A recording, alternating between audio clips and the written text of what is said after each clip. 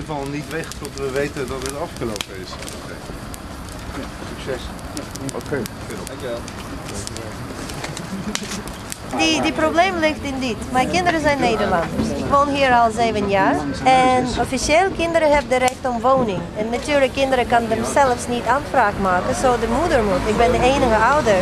Ik heb naar meer geweest en uh, de gemeente is geweest en ik was altijd verteld, je hebt geen recht om aanvraag te maken omdat je hebt geen verblijfsvergunning. Maar ik ben wel de moeder van mijn kinderen en de recht komt van de natuur, van God en van alle rechten van het land. Dat de ouders hebben de recht voor kinderen te zorgen. En deze recht is van mij gepakt. Zo nu heb ik geen andere oplossing maar te kraken. Omdat ik mag niet sociaal huur wonen en dat kan ik die elke welke kan betalen. En voor normale huur heb ik gewoon geen uh, inkomen, niet genoeg inkomen. Zo, dat is waar het probleem ligt. Zo eigenlijk moet ik mijn rechten uh, goed zetten worden, dat mijn documenten zijn klaar.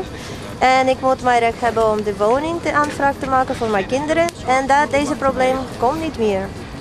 Zo, alsjeblieft help ons. Ik weet niet wie ik Gesprek met de voer. Nou, doe. Ik ga ervan uit dat je niet vrijwillig bent. Nee. Dat is scherpe observatie. ja?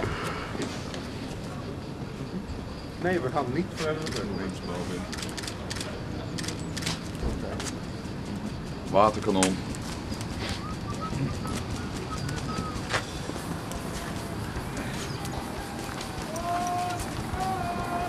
Warning nood! Hoor.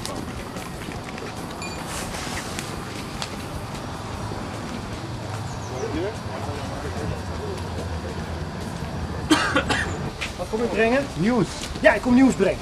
Wat is het nieuws? Het nieuws is dat ik jullie vandaag niet ga ontvangen. Ik heb aangegeven, ik ga jullie vandaag niet. Oké. Zeg, fijne dag. Mogen hun niet het proberen? Nou, dan blijven we. Hier was net een uh, politieman die heeft ons verteld dat zij in ieder geval geen assistentie aan een ontruiming vandaag gaan verlenen. Dat is op zich goed nieuws. De vraag is alleen maar wat dat voor de toekomst betekent.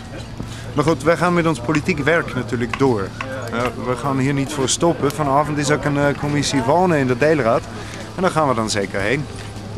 En dan gaan we vertellen wat we daarvan vinden.